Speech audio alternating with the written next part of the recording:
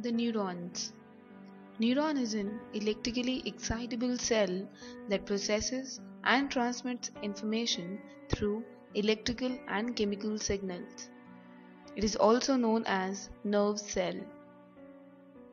The basic parts of a neuron are dendrites, cell body, nucleus, and axon. Neuron is a basic unit of the nervous system and nervous system is divided into two parts. Central nervous system and peripheral nervous system.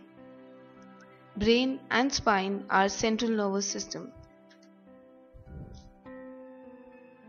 Our brain contains 86 billions of neurons in which 16.3 billion are cerebral cortex and 69 billion is the cerebellum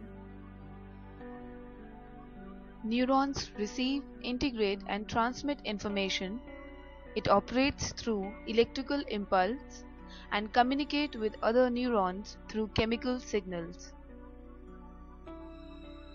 When activity occurs, neuron transmits signal from peripheral nervous system like skin to central nervous system. Then, through neurons, central nervous system gives instruction to peripheral nervous system.